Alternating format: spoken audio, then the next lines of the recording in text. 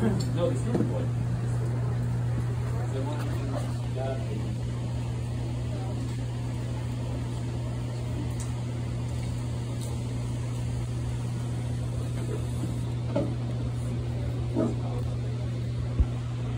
Um, well, one off.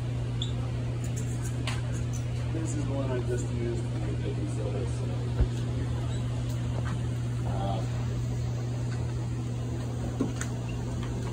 so this is dextrose.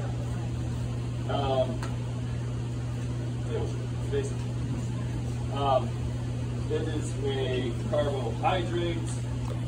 Um, dextrose, if you link a bunch of dextrose together, you get cellulose, which is pretty similar to what like copper or copper cotton clothing is made out of.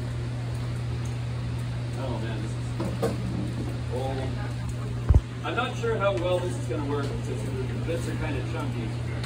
It works best if everything is a nice free-flowing powder, but um, years in humid, humid environment and stuff comes together.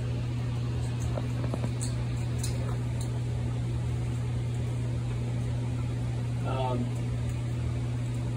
I should mention that this, this demonstration that I'm doing is part of a demonstration uh, that we used to do, that we still do, they, they still do, that we did when I was um, a grad student teaching undergraduate chemistry labs at the University of Alaska Fairbanks.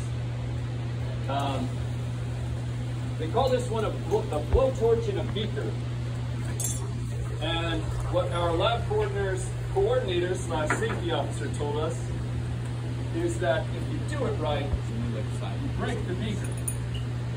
You're gonna break the beaker, beaker? Um, hopefully not. So I've mixed this strong oxidizer with um, some sugar, and um, I'm gonna see if we can. It, like I said, it's really clumpy. I'm not sure how well this is gonna work.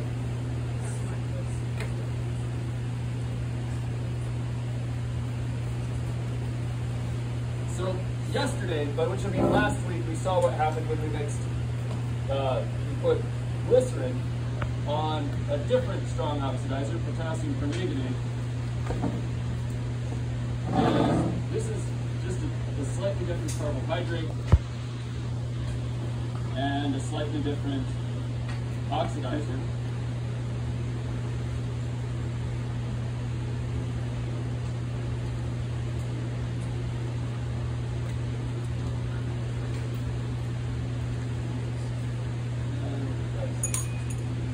So if we were to just let this sit, it would eventually react, but nobody has time for that. So what I have here is uh, a bottle of concentrated sulfuric acid, and I'm just going to drop a few drops on it like that, and stuff like that.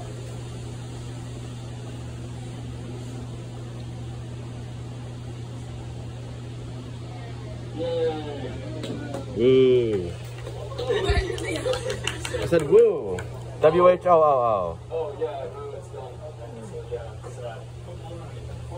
Um, it's still reacting actually. Like it's it's um. So um, this is kind of um, we, we, we did this to illustrate some of the dangers of like working in, in a, a chemistry lab, working with reactive chemicals. Um, there are things that, like suppose that was your clothing, like you'd suddenly be on fire, um, which is usually not anyone's goal, being on fire.